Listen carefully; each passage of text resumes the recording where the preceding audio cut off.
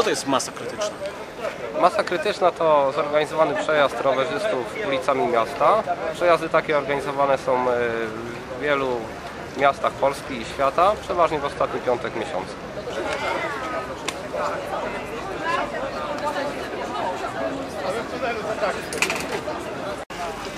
Przeciwko czemu pan protestuje? Dzisiaj protestuję przeciwko e, wysokim krawężnikom w momencie, gdy zaczyna się ścieżka rowerowa.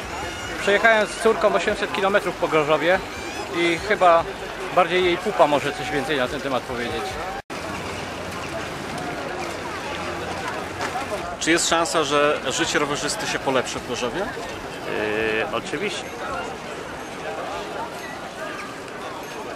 A sam jak często pan na rowerze jeździ?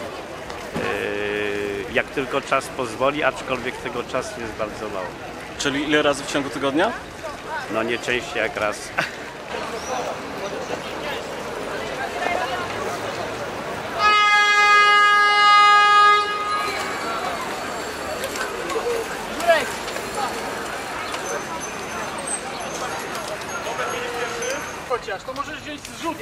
Bo tam trzeba się pospieszyć, bo tam kończy.